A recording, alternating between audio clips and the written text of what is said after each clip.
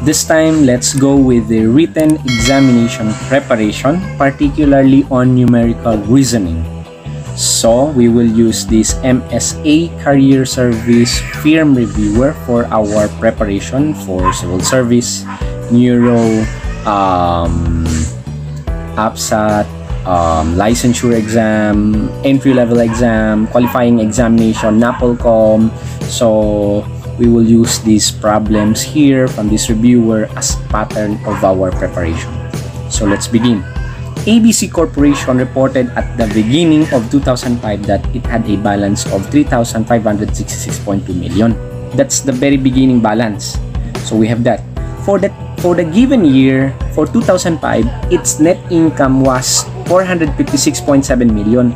So for 2005, um, we will add it with the net income because the net income already um, 456.7 it is already with subtracted already with liabilities and expenses of the company then um, the company paid a total of 234.6 million for dividends so therefore um, 3000 the 3000 um, 566.2 million will be added with 456 thousand uh, 456.7 million and subtract it with the payment of um, 234.6 million for dividends to their stockholders.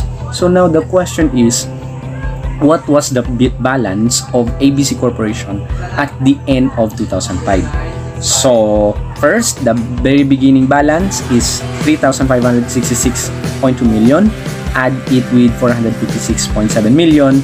Then we will subtract the the company um, paying its dividends to its stockholders of worth of 234.6 million. So what is now the new balance at the end of the 2005 is it 3 billion 788 million 300,000 number 2 it's 3 million 788 300,000 number 3 378,830. And number 4, 37,883. And number 5, it's 3,788.30. So let's determine what's the answer. Number 1, it's 3 billion 788 million 300,000. Why? The very beginning balance of ABC Corporation was 3,566.2 million. Income for the year, it's 456.7 million the amount paid for the the amount the amount corporation of the amount the corporation should pay for dividends is 234.6 million. To get the remaining balance, all we need to do is to add the beginning the balance at the beginning of the year which is 3566.2 million plus 456.7 million subtract it with um, 234 so now it becomes um, 3 3,788.3 million. So it's million, not not billion. Okay, it's million. So that's that's it.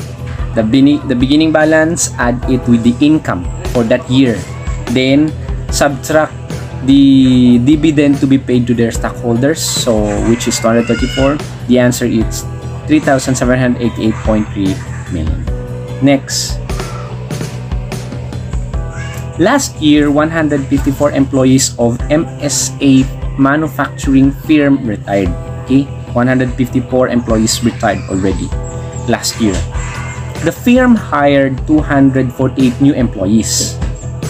If there were 845 employees in the factory at the end of that year, how many were at the beginning? How many were at the beginning. Okay? So first, the given are 154 employees um, retired last year. Okay? The firm hired 248 new employees. So there are more new employees compared to the retiring employees. If there were 845 employees in the factory at the end of that year, so how many were at the beginning. So, it means to say, the 154 um, was retired. Then, um, add it with 248. if there were 845 employees at the end of that year, so in that year, 845 subtract it with 154 employees. Oh. So, if there were oh, 845 employees in, that in the factory at the end of that year, how many were at the beginning of the next year? So, 845, 845 employees, subtract it with 154 employees, and add it with 248 new employees, then let's see what the answer. Is it 1, 443, 6, number 2, 645, number 3, 751, and number 4, 1,239, and last, it's 1,247. So we will just subtract 154 with 845 and add it with 248. Let's see what's the, um, the example, the answer. Answer is number 3. 751. How? Let X be the number of employees at the end of the year. Yes, we do not know. So let, let X be the number of the employees at the beginning of the year. Number of employees who retired, it's 154. The number of newly hired employees, it's 248. The total number of employees by the end of the year, it's 845 so now okay so therefore let x be the beginning of the year so subtract it with 154 and add it with 248 newly hired employees. So that is equals now to 845 so simplify the equation it becomes negative 154 plus 248 since um, different sign negative 154 and positive 248 we will subtract. We will subtract and copy the sign of the biggest number. So subtract 154 minus 248 it's 94 why is it positive? We because we will get the sign of the biggest number which is the biggest number 248 or 154 obviously it's 248 positive 248 so therefore it becomes positive 94 so next.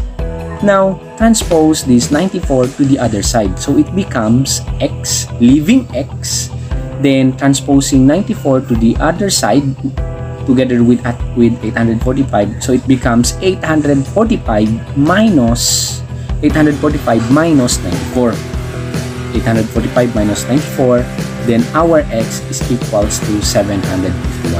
So therefore, um, at the beginning of the year, there are 751 employees.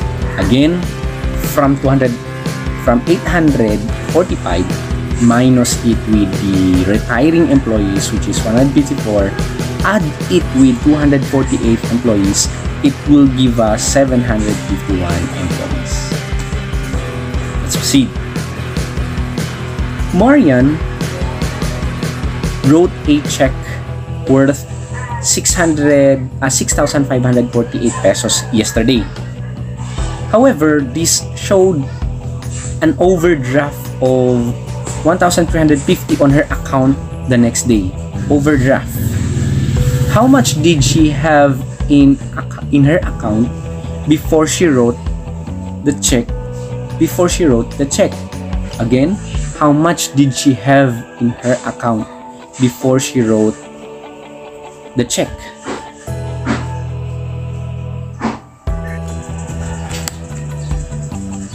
If we say overdraft, it's the act of overdrawing. It means to say excess. Excess.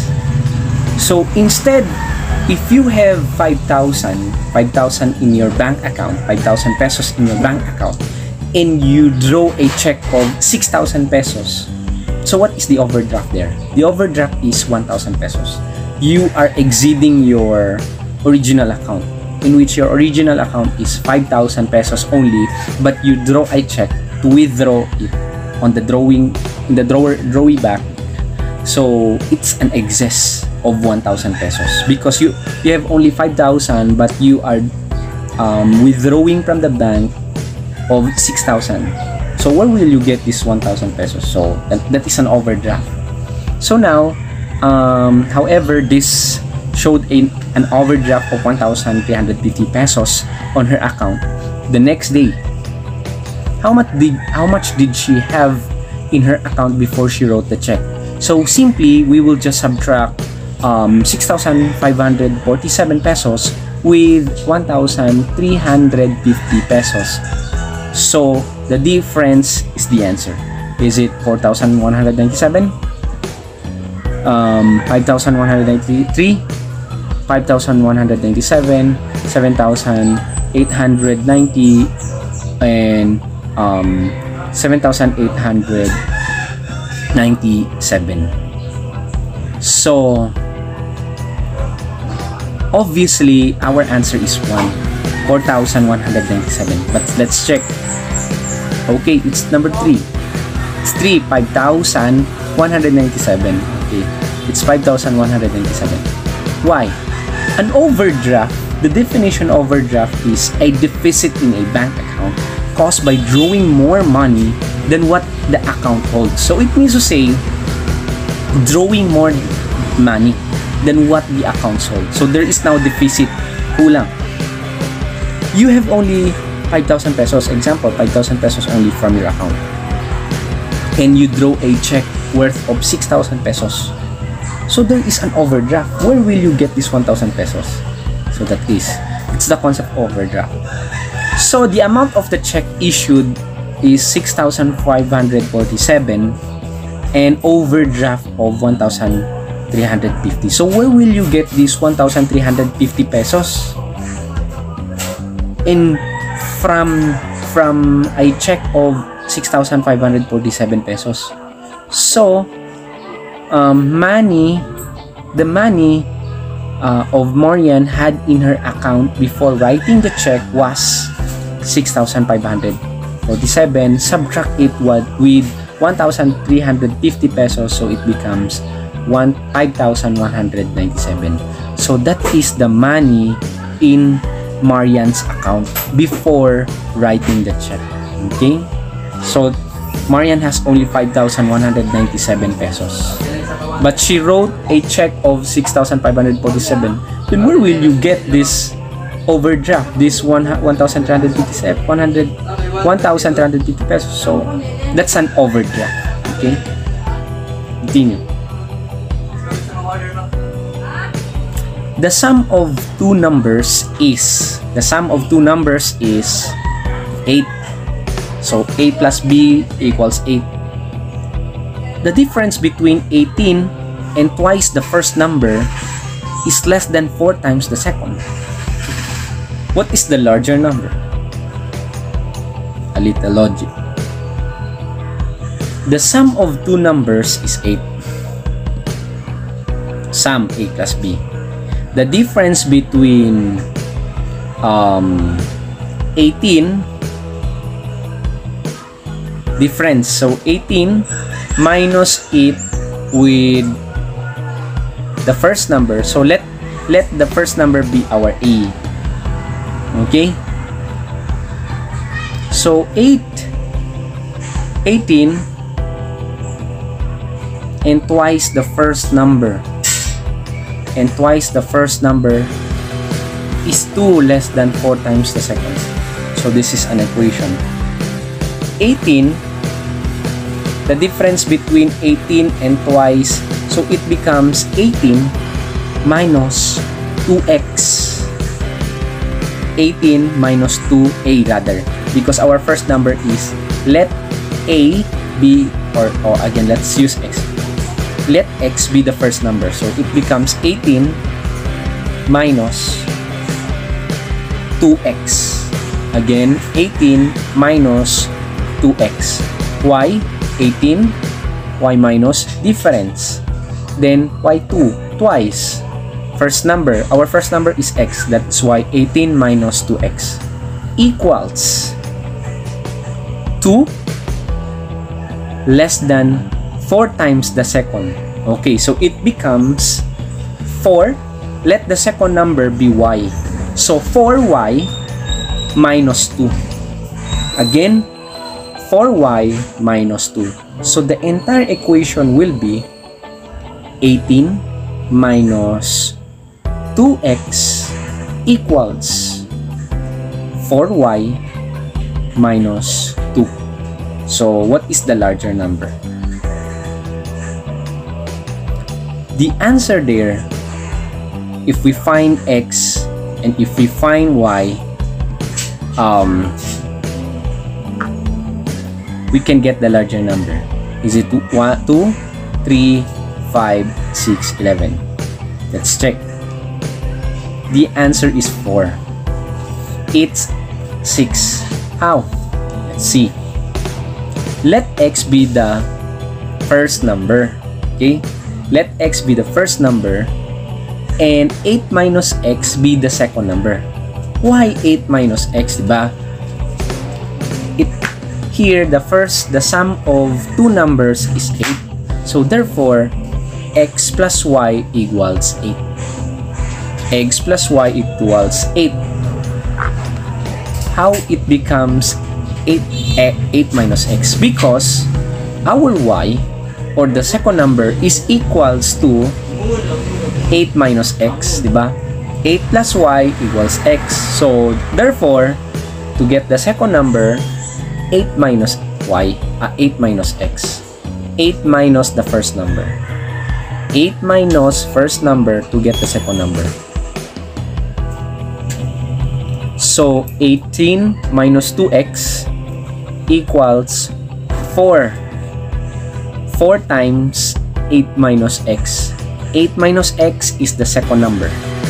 Minus 2. Okay, that's the equation. Again, 18 minus 2x equals 4 times the second number. The value of second number is 8 minus x minus 2. So, okay. Oh, 18x, 18 minus 2x equals. So here, 4 times 8, 32. 4 times negative x, negative 4x. So, negative 2. Let us now simplify further. Simplify further. 32, combine numbers. 32 minus 2, 32 minus negative 2, or 13 minus 2 will give us 30. That is why 30 here. 32 minus 2 it's equal to 30 next here we will combine all with x. So therefore it becomes 4x minus 2x how is it? Because our 4 here is negative 4x so transpose it together with y uh, together with 2x negative 4x together with 2x so it becomes from past from negative it becomes positive now. Because transpose um, 4x to the other side 4x together with 2x so it becomes 4x minus 2x equals 30 how come it becomes negative 18 because our 18 here is positive transposed together with 30 so it becomes 30 minus 18 from positive it becomes now negative 18. So simplify. 4x minus 2x will give us 2x. 30 minus 18 is equals to 12. Again, 4x minus 2x will give us 2x. 30 minus 18 will give us 12. That is. So how it was become x equals 12, x equals 6, the larger number? Simply, divide both side by 2. Divide both side by 2. So, 2x divided by 2 will give us x. 12 divided by 2 will give us 6. That's how simple it is. Again, in order to get our x equals 6, divide both side by 2 to get our x. 2x divided by 2 will give us x. 12 divided by 2 will give us 6. So therefore, the larger number is 6.